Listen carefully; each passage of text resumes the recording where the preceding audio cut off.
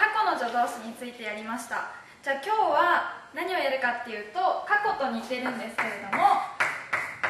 この完了の助動詞っていうのをやりたいと思います。完了って何なのかなっていうと、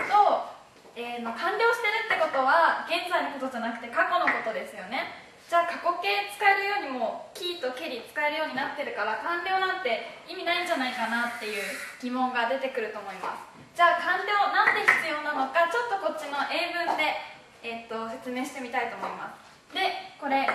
1個目と2個目の例文ありますよね。で I cleaned the room っていうのと I have cleaned the room でどっちが完了か分かると思います。こっちが完了です。じゃあこれどう違うかっていうと上はまあえっ、ー、と和訳すると部屋をきれいにしたっていうことですよね。で下も同じです。部屋をきれいにしたっていうことなんですけれども上はもう、えーと、掃除しちゃってえっ、ー、と掃除しちゃっても今きれいか汚いかは分かんないんです。じゃあ2番目っていうのは I have cleaned the room っていうのはきれいにしたっていうのが続いていて今もまだ部屋はきれいなままなんです。そうすると現在にまだか、えっと、現在に関係している過去っていうことをこの完了形で表してます。じゃあそれを古文でも言えるようにしようっていうのが今日の目標なんですけれどもちょっとやっていきたいと思います。じゃあ古文でこの完了形を表すためにはどういう助動詞使うかっていうとまずここに書いてあるつとぬっていうのを使います。とぬっています。でこれまたこの前やった連用形接続なんですけれども連用形接続どういうことだったか覚えてますか？どういうことかっていうと「つ」と「ぬ」の前は絶対連用形になってるよってことだったと思います。じゃあ本当に連用形になってるのか1個目の例文でちょっと確認してみます「我参りぬ」ってあるんですけれども「ぬ」の前ここが「参る」っていうえっとラ行余談動詞和行余談活用の動詞の連用形に本当になっています。はこれ連用形接続っていうのが納得できたと思います。そうすると完了形なのでどういうふうに訳すかっていうと完了形は何とかしたって訳すのでこの場合だと,、えーと、私は参ったってことですよね。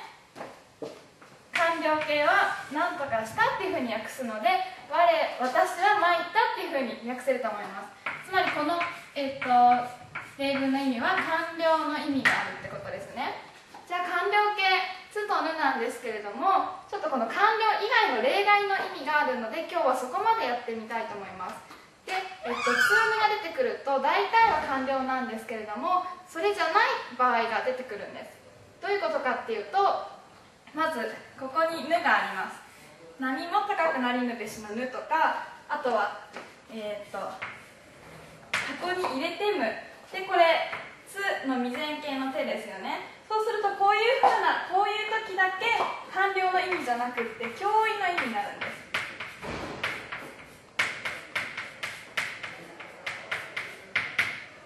教意っていうのは、えっと、字の通りちょっと意味を強めるっていう意味なんですねそうすると何も高くなったじゃなくてきっとなるだろうっていうふうに訳すんです。絶対なるだろうとかなるはずだっていうふうに意味を添える強い意味を強調するっていう意味を添える働きだけをするのでなんとかしたっていう完了とはちょっと違うんです。これが2つ目の意味です。で3つ目。これはちょっと形が特徴的なのですぐ分かると思うんですけれども「打ちつ」「打たれつ」っていうふうにここに出てきますよね。そうするとこれどういうことかっていうと打ったり打たれたりっていう意味なんです。つまり打つっていうのと打たれるっていうのを、えー、と並べておいてるっていうことなのでこの字の通りこっちは並立っていうふうに呼んでます。で今3つのパターンが出てきたんですけれどもちょっともう一回今までのまとめしてみます。まずツールが出てきたらその前は絶対連用形それで意味は完了です。じゃあ今度どういうことかっていうと「ぬべし」っていうのと「つべし」ここが「つべし」である時なんですね。あと「てむ」だったり「なむ」だったりするとこの「手」とか「な」とか「ぬ」とか「つ」っていうのは教員の意味になるんです。最後「うちつ打」「たれつ」っていうふうに2つ並べてある時は並列になるってことですでこの2番の例文は資料につけておいて全部この4つ「ぬべし」「つべし」と「てむなむ」しかないので資料をちょっと例文4つ出しておいたので見てみてください。ボタンを押して資料を見るで見てみてください。なので、えっと、これ大丈夫かなと思います。ツールは3つの意味があって見分け方はこの2番と3番だけ注意してもらえればあと全部完了で。OK ということが分かったと思います。じゃあ完了のニュアンス分かったところでもう一つ完了やってみたいと思います。えっとツール以外にも他にも、えっと、完了の意味を表す助動詞があるのでちょっとやってみます。でツール以外で何で表せるかっていうと「たり」っていうのと「り」っていう助動詞で、まあえっと、表すことができるんですね。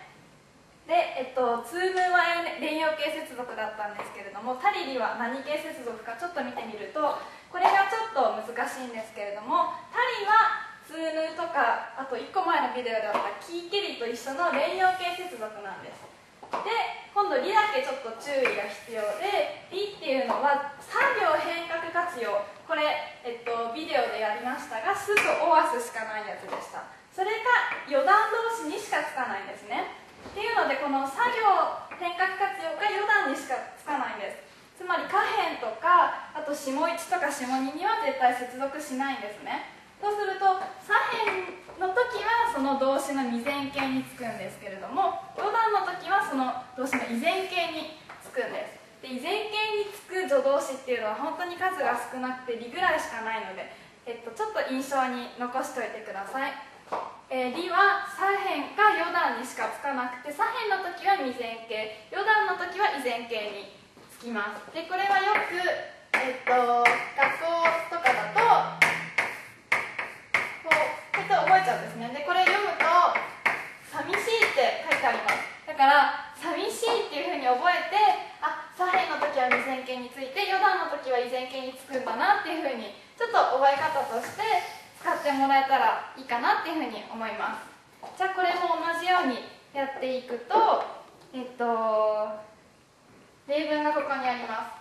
縄を引きたりしときってあるんですけれどもここどこに完了の助動詞が使われてるかっていうとこれですよね。ここです。つまり「たり」です。で「たり」連用形接続なのでここの前が何形接続何形になってるか分かると思います。ここは連用形になってますよね。家業余談動詞の引くっていう動詞の連用形になってると思います。じゃあ今度こっちなんですけれどもこの「り」っていうの「り」は何形接続だったかっていうと「寂しい」でした。で「なる」っていう動詞は、えっと、余談動詞ですね。な行余談動詞なので依然形に接続してるはずなんです。ってことは「り」の前のここは依然形になってないとおかしいですよね。でじゃあ余談動詞の活用表を見てみてもらえると偽善形ってことが納得できると思います。じゃあこれ、えっと、さっきみたいに現代語訳もやってみたいんですけれども「たりとり完了」ってことは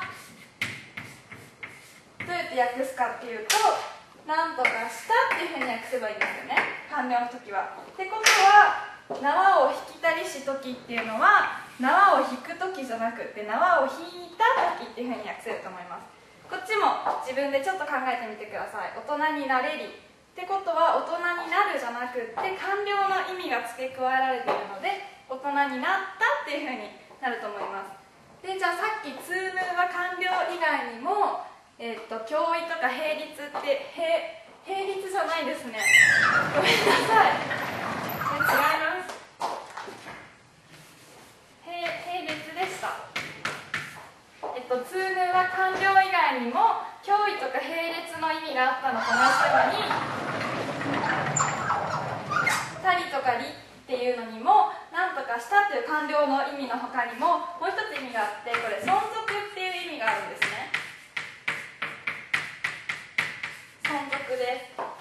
でどういうことかっていうと完了と存続っていうのが同じ助動詞なのに意味がちょっと違っていて完了はもう完了してることですね。で存続っていうのは字の通りまだ何とかしているってことなんです。まだ今もややり続けてる状態のことなんです。なのでちょっと意味が違うんですけれども、えっと、基本となってる意味は同じはずなので注意してみてください。じゃあこの存続っていうことに注意してこの2番目の例文訳してみると「良き人の住みたるところ」って書いてあります。良き人の住みたるところ。っていうことはこの「たる」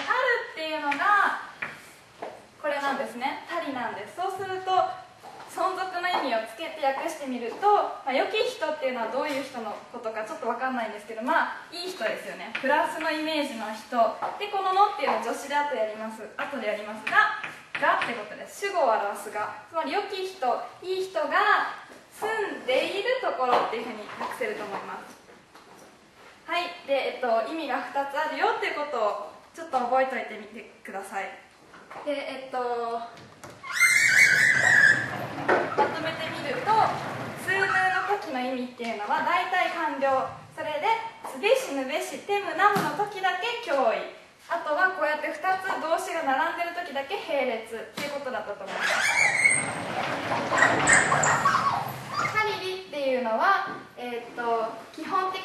に完了ででもまだ終わってないなっていう時には存続の意味もあるよっていうことだったと思います。で活用表についてはまた資料をつけてみたのでまた資料を見るっていうボタンクリックしてみてほしいんですけれどもえーと、